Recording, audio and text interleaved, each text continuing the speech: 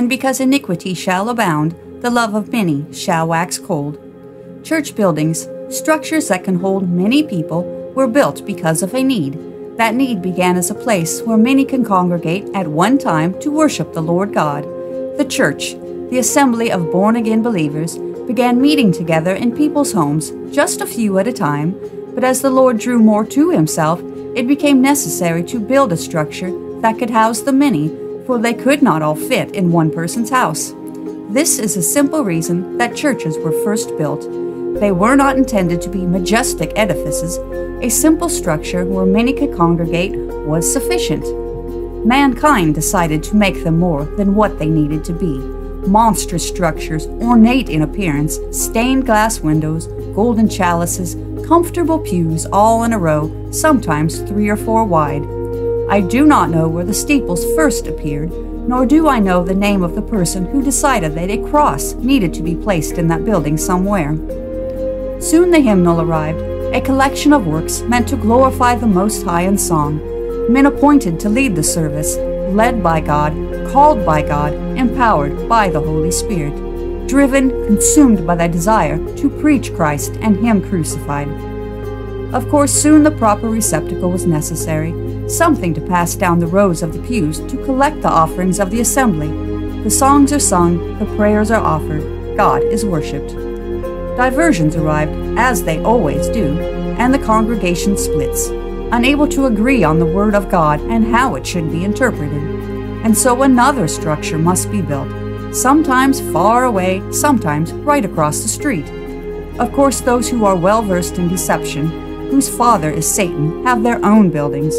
The Romanists, Mormons, Jehovah's Witnesses, the list is nearly endless. Some are barely recognizable as to their design, others are ostentatious, showing the great wealth available to that particular religious organization.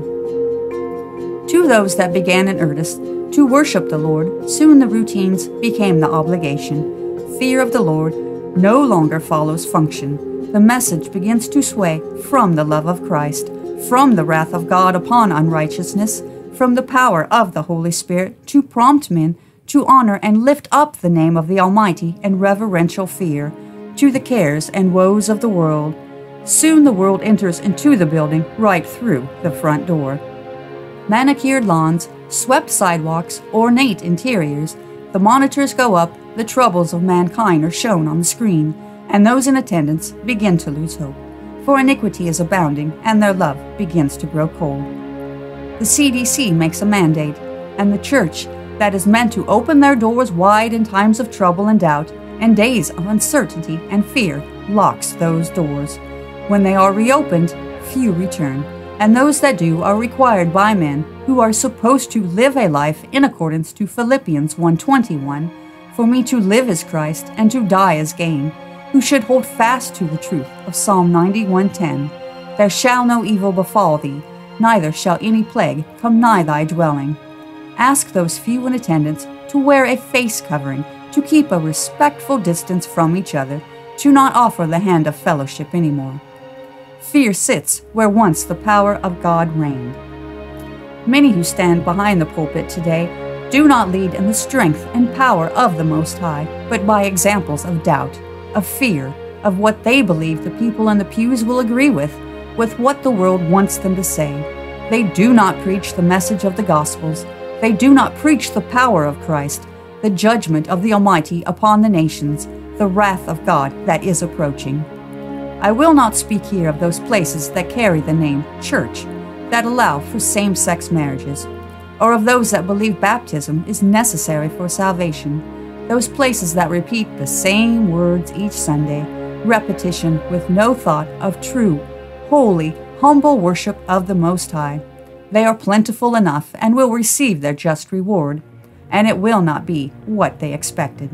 When all the statistics are gathered and adjusted properly, in the 1930s, church attendance was approximately 70% of the population where the name of Jesus Christ was known. Today, by all accounts, it is less than 20%. But our Father in heaven always reserves a remnant for himself, and where the church began is where it is returning to.